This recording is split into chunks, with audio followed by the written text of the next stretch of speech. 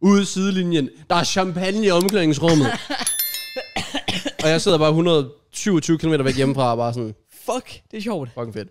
Så øh, tillykke til Birkene med at vinde deres første kamp. Så den eneste kamp, du ikke har været med til, så vinder de. Jeg kan ikke se det sjovt det. Det var det samme i Kavslet. Okay, så godt. Der var en kamp, jeg nærmest ikke spillede. Det var, det var sådan en pokalkamp. Den vandt. Og kæft, det er sjovt.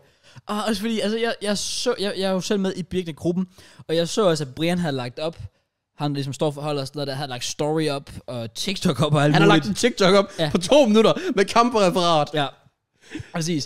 Hvor fedt. Så jeg var bare sådan, jeg var sådan, yes, Birkene vandt, jeg glæder mig til at høre JK's historie på podcasten. Og så starter du ud med at sige, at du ikke engang var der. Fuck, det er content. Det giver ikke nogen mening. Bro, hvornår indser du bare, at det er bare dig? Det er det, Jeg jeg siger. skrev også, bro, jeg melder ud. Ja, Altså, jeg, jeg kan ikke mere. jeg har jo sagt, du er Jack Rodwell. Legit. ham, der ikke vandt en kamp i sådan... Ja, han startede en kamp, han ikke har startet i sådan fucking mange kamp. Det, det er dig. Du har dårlig indflydelse. Åbenbart. Oh my. Og Nico spillede heller ikke. Well, jeg kan ikke snakke, men det kommer jeg også ind på senere. Så Ja, Oh, ja, oh, nice. ja det, er ikke, det er ikke gået så godt her. Fuck, det er sjovt. Det er- Nej, nej, nej, nej, ja, ej, det er sgu meget sjovt. Men ja, tillykke til Birkene. Let's go. Øh, men øh, ja, vinder sikkert ikke flere kampe den her sæson. Og det værste er, den to næste kamp, ej, den næste kamp kan jeg ikke spille. Så nok i weekenden. Damn. Ugen efter, der er det søndag, vi kommer hjem lørdag. Så det burde kunne lade sig gøre.